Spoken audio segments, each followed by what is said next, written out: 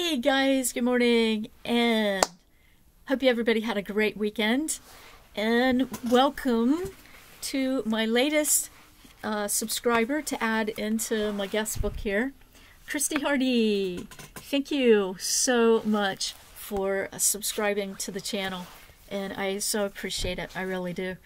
Um, uh, guess who came to visit last night? The skunk. Yeah, he was back. It was so funny. I heard a noise on the porch and I thought, that doesn't really sound like Buddy the cat. So I opened up the door and I was like, oh gosh, yeah, he's back. So I pulled out my headlamp and I shined it, shine, it down. And it was not only the skunk, but I've got this, you know, the cat bowls that are one unit, but there's a, a spot here and a spot there, one for water, one for food. Well, I had food in both. Well, the possum, a small possum, was eating out of one side, and the skunk was eating out of other. And I was just like, you guys are crazy. I mean, how on earth that poor possum stood to be near that skunk, I'll never know. But I was about to die from the smell, so amazing, amazing possum. They, he he must have had some damage to his sinuses or something. But anyways, the house really smells bad. I've been burning Yankee candles and everything trying to get the stench out, and it ain't working. Oh goodness, yeah. So and and it's even worse on the porch where it actually happened. So, thank you, Peppy, uh, for your contribution this last night as your gift continues to keep on giving. Okay, so great news. I am fully back to health again. So relieved.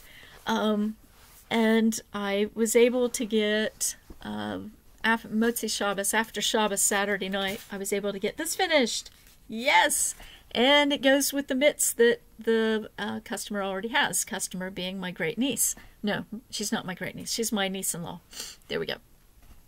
So, anyways, uh, I got this all done, and all my concerns about the way that the uh, yarn was feeling, whether it was actually going to be thick enough, warm enough, whatever, are all laid to rest because it really turned out nice. And the only thing I wish I could get the hang of is making an I-cord, knitting an I-cord quickly. I do not knit a 20 inch I-cord quickly at all. And uh, what I didn't like is I kept splitting the yarn. And it shows if you if I undid this, I could show you and you could see where oh yarn split, yeah. And I didn't notice it because I was also watching TV. Uh, well, not TV, but Netflix. So anyway, so this is all done, and if you could see it in person, it looks just amazing. Uh, so I'm really happy the way that turned out. And um, today I've just got to get these sewn up the sides. Those will be ready to go. Those are uh, another pair of mitts. Um, I've got some of these along with a, a hat and uh, maybe a few other items that are going to go out the door today. Um, uh, that I'm going to mail out uh, to the consignment shop because I got a check back from them on Friday and uh, so I've got to get them some more supplies. And I wish we could just drive out, but it's on a really crappy country road getting to that shop, and Mom hates the drive. So it's like, okay, fine. And since I can't drive a car yet, uh, thanks to problems from my stroke, um, I hate this. Uh, I can't get out and but I'm I've got to I'm planning on in March um, sending my scooter off to have it fixed uh, because I've got to get back on the road.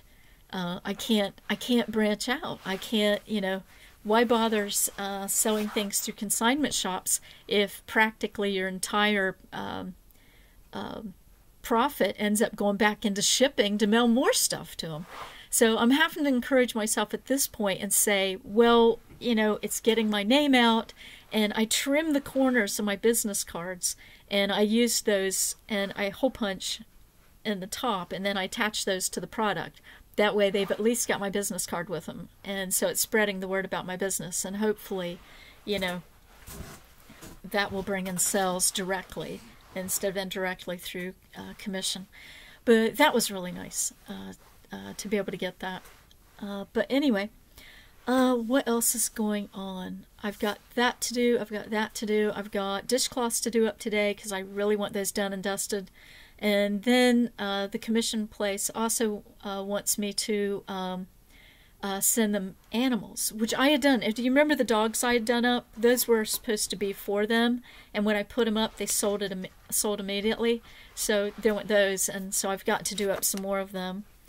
Um, and I've got some other uh, uh, critters that I want to get done up and put in the shop, and add some more amigurumis. Even though technically amigurumis aren't selling, that well for me. I'm still doing it because I like them. Uh, but anyway, uh, those will get up, and uh, Zippy's going to have some buddies and stuff. And I was trying to think of anything else. Oh, videos coming up. I'm going to be doing uh, a video on, uh, separately from this, it's going to be on Rory's Story Cubes. I'm going to be doing one up on it. Uh, and so that will be coming and it's going to be in combination with um, Adventures in Cartooning book and Ed Emberley's books and the Car- Cartoonist Workbook. Because I used to do this stuff uh, years ago. Aside from, you know, that hobby, I also did some uh, graphic design for a couple places and design logos and whatever and that's what I was doing. So why did I have someone else design my logo? Because my brain is hot. That and without a graphics pad to be able to put it in with, it just wasn't going to work. So and and to be honest, my little cousin she did a fabulous job on my logo. So I am really happy. She did much better than I could have ever done. So anyway, there's that, and then um, also coming up I've got this. And I'm going to be talking about what I've been learning and the differences between the two um, uh, scarves that I've made.